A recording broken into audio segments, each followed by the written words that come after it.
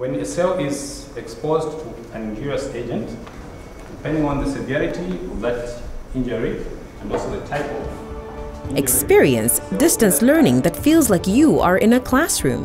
Study from the comfort of your home on your Cavendish University provided tablet.